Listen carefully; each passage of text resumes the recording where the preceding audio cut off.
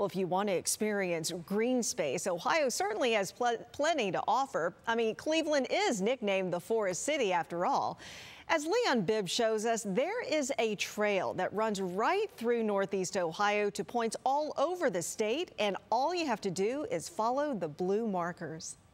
The old saying, a journey of a thousand miles begins with one step.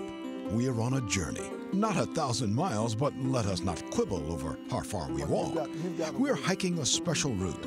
Come along if you have a mind for it. We're on the Buckeye Trail. You should be able to go completely around the entire state of Ohio. Walking most of Ohio would be a big trip, but Bob Marecki, supervisor of the Buckeye Trail, knows the way.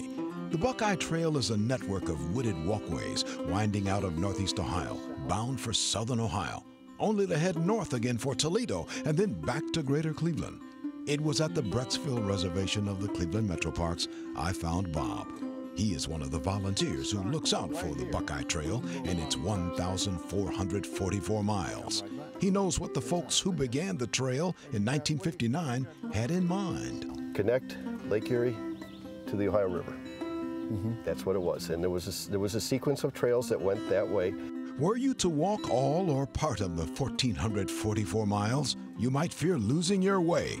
Fear not, my friend. Every few yards there is a blue trail blaze marker tattooed to a tree, signaling the route and where to make a turn. Volunteers help maintain the trail along with any park systems through which the trail meanders.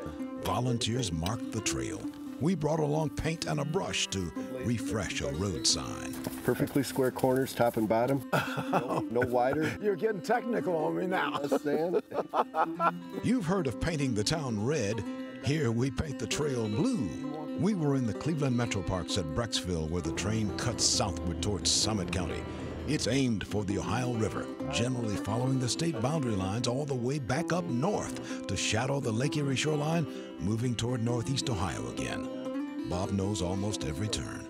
It goes through towns. Yeah. It goes through towns that we never would otherwise see, and we get to meet people that we otherwise never would have met. As Bob spoke, another traveler cometh, another Buckeye trailer, Scott Brown. We were strangers when we met, but gabbed enough to become friends. You know you could do all 1,444 miles if you wanted to. If I mark that, yeah, it'd take me a couple years. Yeah, how long you gonna how long you gonna walk it today? Uh, it's gonna do about three miles. Something else about the trail through the woods. Walk as much of it as you like, but within a few steps you can hear and see the magic. Listen to the woods. They speak to you. This is just a really, really peaceful place. Um, we can engage with obviously Mother Nature and uh, things that are provided for us. That was probably the thought when folks blazed the trail to wind through 49 Ohio counties. No matter the season, its doorway is always open. People hiking are looking for quiet and peace. Nature can give that in huge portions. In the story The Wizard of Oz, the idea was to follow a yellow brick road to the land of Oz, a special place here, the idea is to follow the blue blaze marks on the trees. That will take you to a special place as well, the Buckeye Trail, throughout the state of Ohio. The trail is a big circle having no beginning and no end. Somewhere in its 1,444 mile route, there is a fellow walking it all, this largest loop trail in the country. I'll bet with every step he's found what many of us are looking for tranquility and a relief from the everyday stresses of life even if it is just for a while. On the Buckeye Trail, this is Leon Bibb, Channel 3 News.